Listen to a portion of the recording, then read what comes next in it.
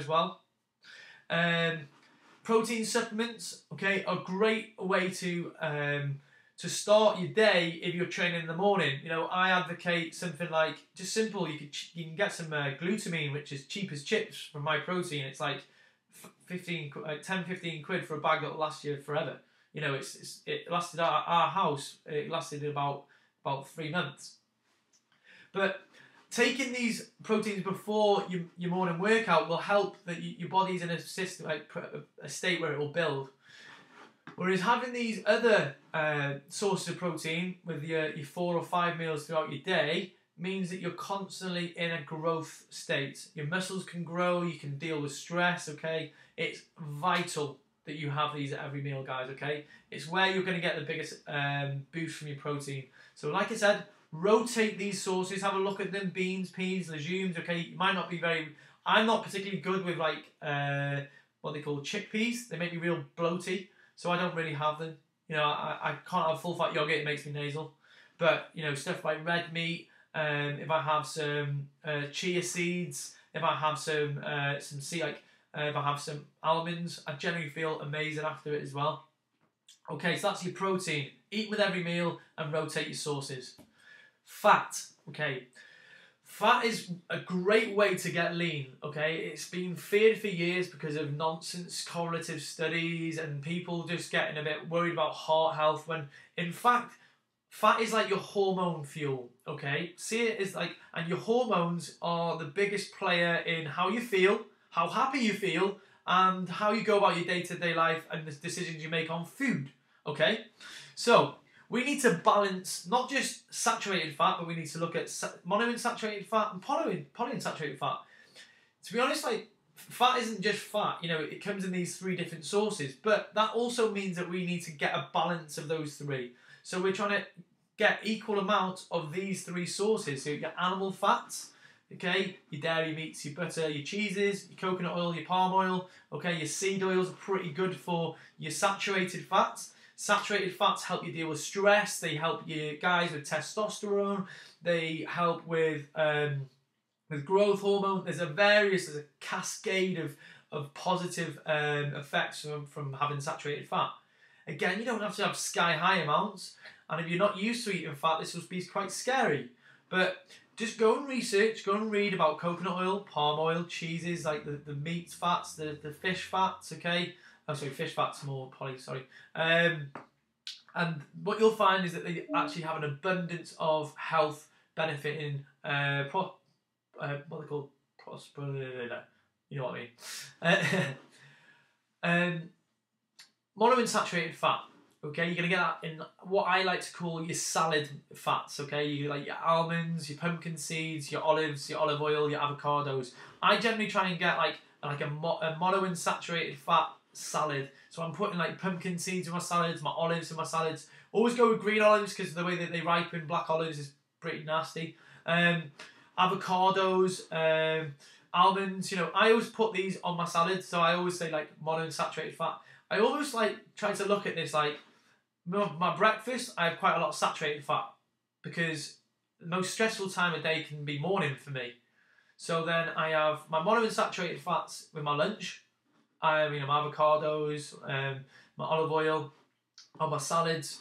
And in the evening, okay, I have some like, uh, like or mid afternoon, I have some like fish oil with. I actually take fish oil with every every single meal, um, just a gram. But um, my algae oils, my saffron my peanuts, I have that before I go to bed. Uh, my, so peanut butter I have before bed or almond butter. My flax seeds, my flax oil. I've just had some chia seeds today and uh, they are awesome. And I have my Brazil nuts before I go to bed because I know that that actually helps increase my testosterone, which is great. I learned that from Timothy Ferriss in the Four Hour Body. Great little, uh, great little book to read as well. So what you're trying to do, guys, with your fat is balance that throughout the day. So you're addressing deficiency, so you're not deficient in any of these fats, and you're also getting the balance, uh, so you're well nourished. You're not getting any malnutrition. If you're deficient in any single one of these fats, okay, this will cause a, a problem with your body, okay, and this will lead to fat gain or feeling tired or being ill, okay. With fat, you can have it with every single meal, but when you train Okay, the meal after you train should be low in fat. Okay, if if anything, and no none at all. Okay, you're trying to avoid fats after you train because your body wants the protein and it wants the carbohydrate more. So look at those, you know, your meals and think actually after a workout, I can actually take the yellows out of my eggs because I want the the whites. Okay, after your workout. Um, if you have an omelette after you've done a workout in the morning at fitness camp, you know, if you have like three eggs in there, maybe t- take two yellows out and use them at a different time of day on your salad or something, or put them in, or just you know chuck them. It's up to you. Okay, so the only time of the day that you don't have fat in your meals, okay, is post workout, whether that's in the morning or whether it's in the evening. Okay, guys, because your, your body wants the carbohydrate more. Finally, okay, the big hitter. This is where people uh, get get a little bit lost. Okay, because there's also all sorts of these. Um, a lot of information about carbohydrates and how much you should have and when you should have it. And believe it or not, carbohydrate is the only macronutrient out of the carbs, fats, and proteins which you can live without. Okay, Atkins proved that. Okay, you don't need, you don't actually need carbohydrates to survive. You do need it, you know, in terms that if you if you did without it, you'd be depressed and you you wouldn't, you wouldn't function as well. But it, it, it wouldn't you wouldn't die. Okay, in other words. Whereas if you didn't have fat and you didn't have protein, you'd be on a quick route to the grave. Okay, so where are you going to get your carbohydrates from and what time should you have them? This is so appropriate, guys, and, and this is where I see people making the most mistakes. But this, don't worry about if you've made the mistakes up until now, because watching this, you're going to start correcting them. So exercise recovery drinks. These, I don't really advocate exercise recovery drinks. I don't really I've since I've um, been training and the years that I've been training, I only ever used to take a sort of Lucozade drink when I was doing like two hour sprint sessions where we do maybe some weight training um, mixed with sprints and it lasts a bit longer. Uh, I, I, but I don't even use these anymore. So I, re- I reckon such like your sugary rich uh, drinks, even your Vegebolic Drive, like your post workout, um, have that after a workout, or if you're going for like a long two hour like bike ride, pop it in your um, pop it in your what's it called in your drinks bottle.